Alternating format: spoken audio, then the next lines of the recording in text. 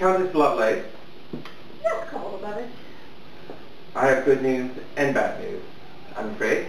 hmm The good news is our difference engine project works marvelously. Oh, I knew it would. You're such a clever assistant. I don't know what I'd ever do without you. But the bad news is, Mhm. since the British are funding the project, they insisted we integrate it with the complete ship's weapons system. It can now adjust aim and fire ten times faster than any human ever could. You didn't tell me they were doing this. I knew that would upset you. I'm not too, I'm not too jolly about it myself, but I had no choice about it.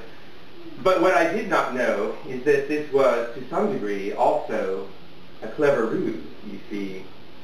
Now they can dictate that it is military technology, and there's some old law I knew nothing about on the books that says any military technology developed on British soil becomes immediately the property of the British Crown.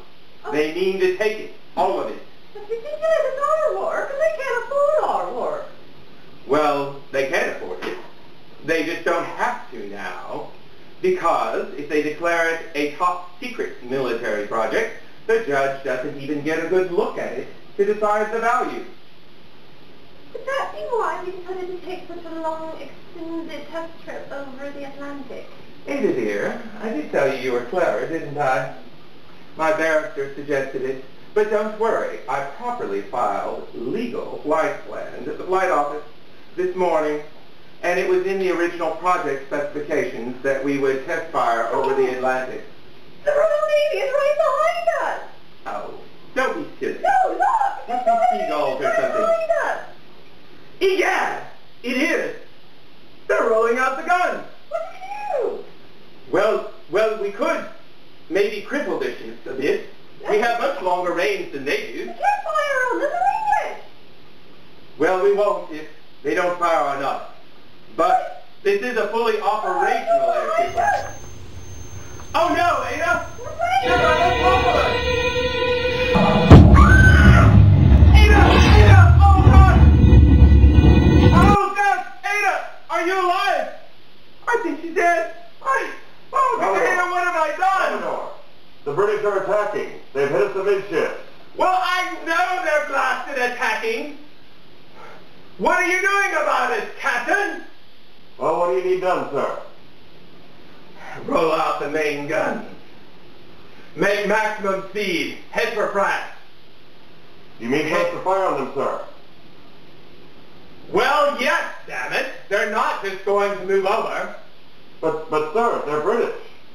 I know they're British, damn it. I don't care if they're purple pixies. Tear them out of the sky. Very well, sir. You have your orders. Make for France, the nearest large city where they have a hospital. They'll rue this day. Patriotism will be replaced with fire and ice.